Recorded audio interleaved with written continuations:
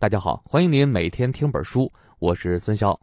今天跟大家说的这本书啊，叫做《解决冲突的关键技巧》，副标题是如何增加你的有效社交。这是一本社交类的工具书，作者叫达纳卡斯帕森，是一位冲突调解的专家。那你可能会觉得奇怪啊，这怎么还有专门调解冲突的专家呢？其实啊，这个不但有，而且还有这门专业呢。作者是上普兰大学人际冲突专业的硕士。上普兰大学是美国一座特别有名的大学。有趣的是呢，作者还是一个在舞蹈领域啊有很高成就的人，拿过的大奖是不计其数，三次获得芭蕾舞国际协会颁发的最佳舞者奖，是一位舞蹈界的高手。那你看，解决冲突、舞蹈这两个领域啊，在我们看来是不是跨的有点远啊？但是在作者看来呢，一点都不远。他就是从舞蹈中的即兴表演方法里面悟出了一套解决冲突的技巧。靠着这套技巧，很快就在冲突调解领域冒出了头，被很多企业和大学院校聘为顾问了。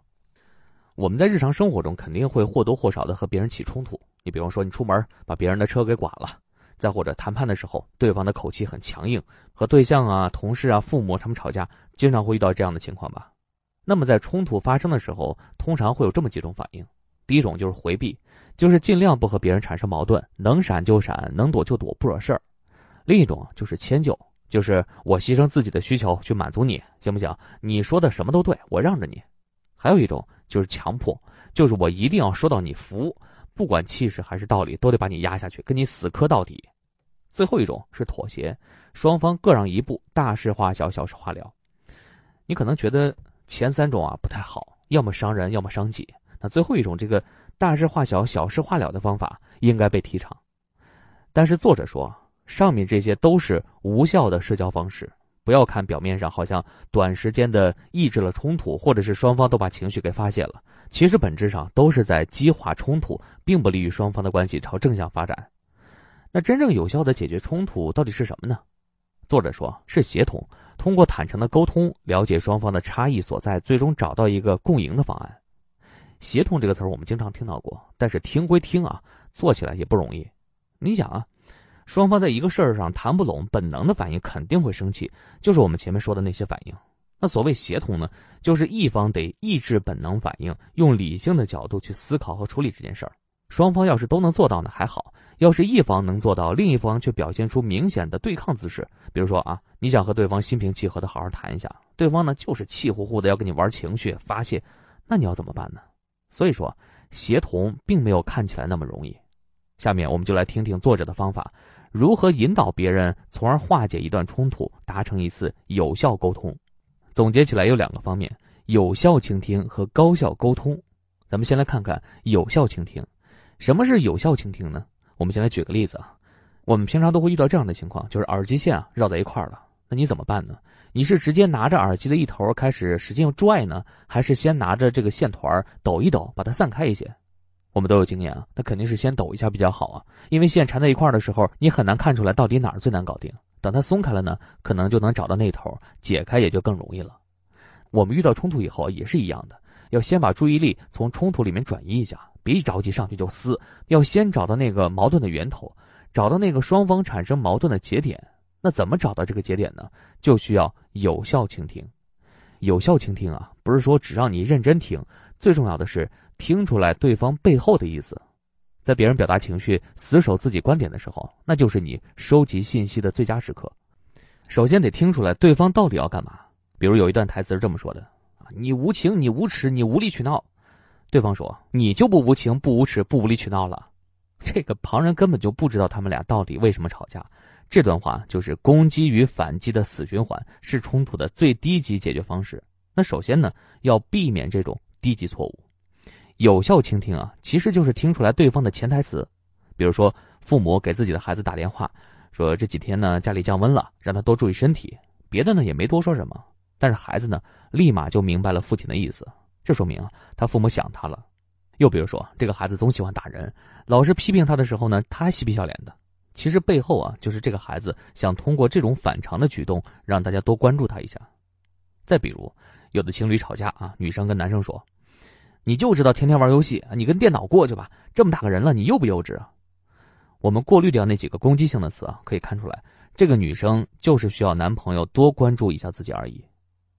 要听出对方背后的意思啊，作者在这儿呢给我们辨析了三个概念，就是需要区分行动、利益和需求的差别。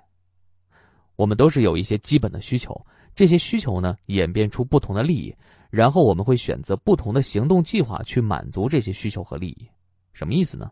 举个例子，比如说啊，医院里面经常会发生这样的事情：某一家人的亲人在医院里面去世了，按照风俗习惯呢，这家人想烧一些纸来悼念去世的亲人。可是医院的规定呢是不准烧，怕一不小心引起了火灾。这家人要烧纸，医院不准烧，那这个时候双方在行动上就冲突了。要是双方都在这个层面交流，那肯定没有办法沟通了。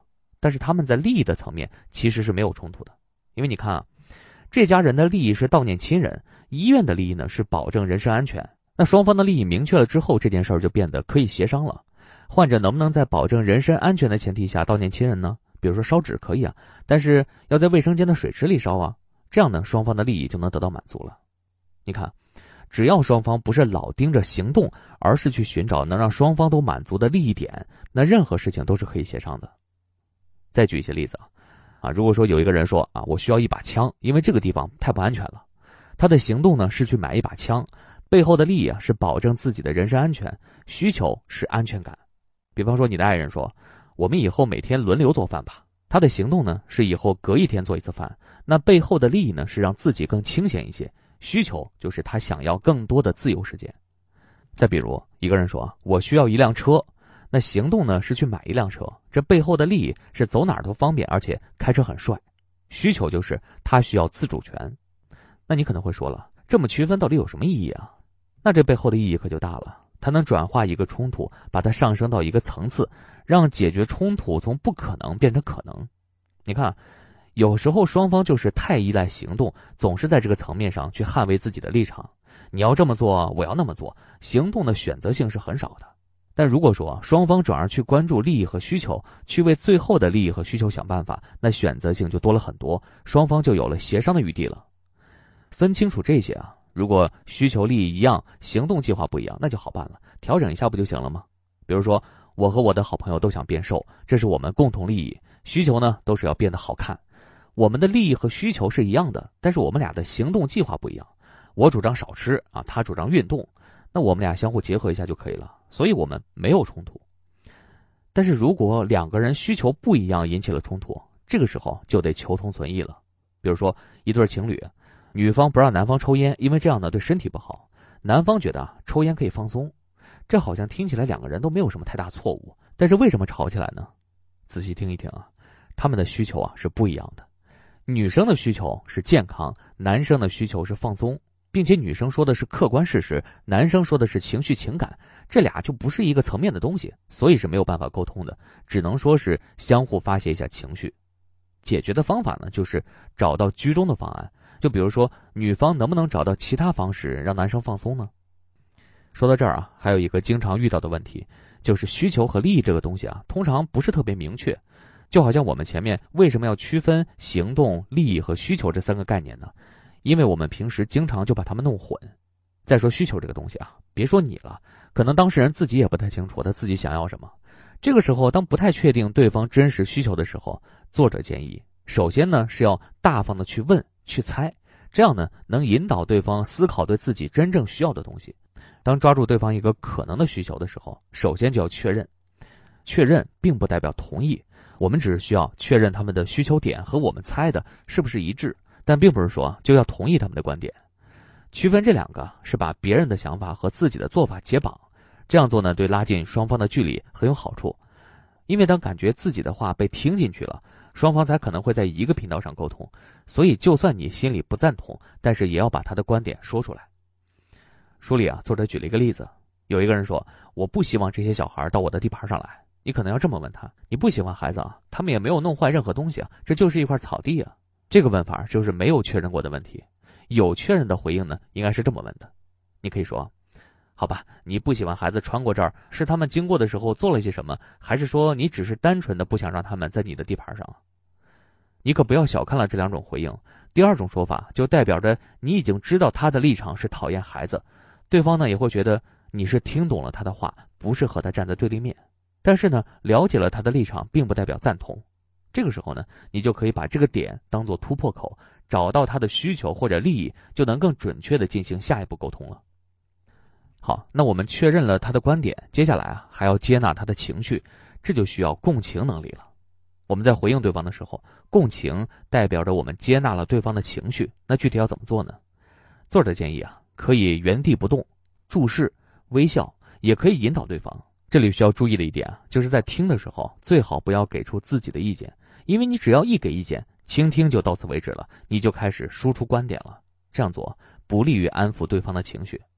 正确的做法就是你控制一下给意见的冲动，可能他本来是来找你大吵一架的，后来发现呢，好像你这个人还挺懂他的，还关照他的情绪，好像还不错，那这个吵架的欲望也就悄悄的就没了。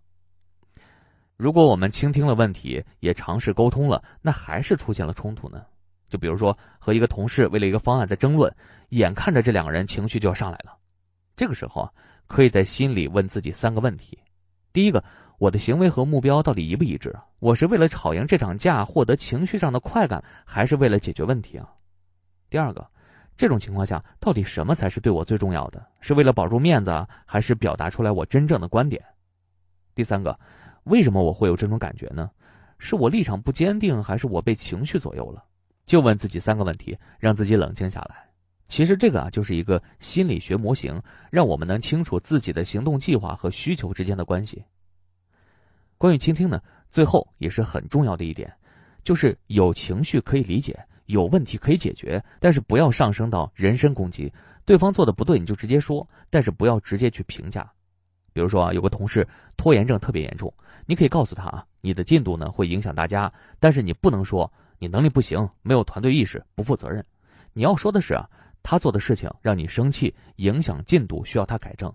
但是控诉和贴标签啊，会直接上升到人身攻击的层面，这会让很多人接受不了，也容易开启攻击或者是反击的模式。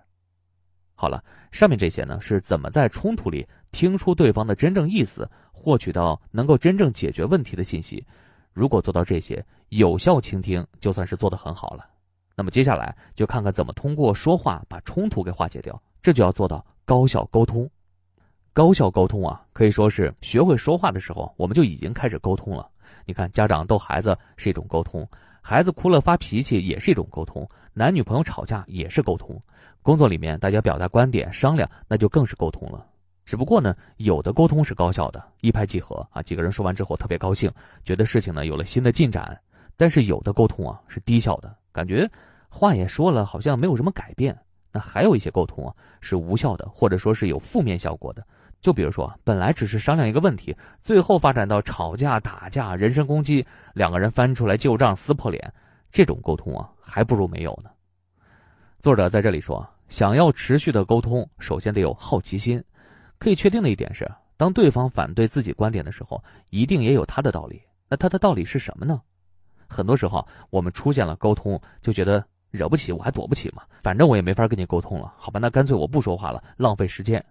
有时候吵架经常会听到这样的收尾：哎，好了好了，我跟你没话说，你闭嘴吧，都闭嘴吧。这看起来啊不再争吵了，但是这样也是把冲突的原因忽略掉了，甚至会让我们受到情绪的影响，直接判断这个人就是一个坏人。书里啊，作者给出了一个练习方法：先回想一次让自己真正发火的冲突，然后问自己五个问题：为什么这个人觉得自己有道理？为什么会做这些事儿？他需要什么？我是不是对他也有责任？应该怎么做才能让我们俩有效对话？这几个问题啊，可以在你觉得对方不可理喻、不想对话的时候，脑子里面过一遍这几个问题，这样呢，就可以慢慢的找到思路。